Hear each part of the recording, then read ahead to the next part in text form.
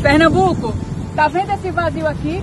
Esse é o vazio que representa o vazio nas geladeiras, nos armários, na barriga e no coração do povo de Santa Cruz do Capibaribe. O fechamento das atividades gerais. O fechamento das atividades gerais. Estamos voltando da cidade de Santa Cruz do Capibaribe, que é a maior produtora de confecções de Pernambuco e a segunda maior produtora do Brasil.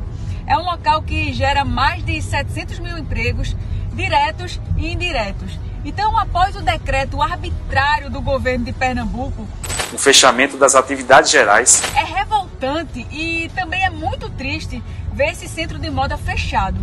Nós sabemos o quanto esse polo ele representa para a economia da cidade, assim como para muitas famílias que dependem do comércio. Então nós viemos ouvir os representantes do Moda Center, as dificuldades enfrentadas pelos comerciantes que agora se reinventaram para vender online, via WhatsApp, delivery, o que não movimenta economicamente quase nada em relação aos dias comuns de feira. Também me reuni com representantes de diversos segmentos que estão revoltados com a situação.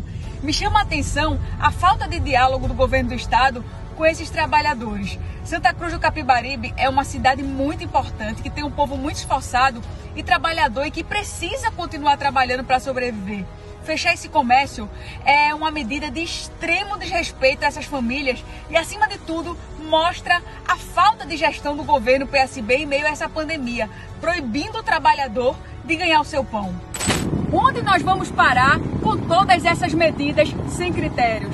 Vale lembrar que todo tipo de trabalho ele é essencial. Todo trabalho é essencial.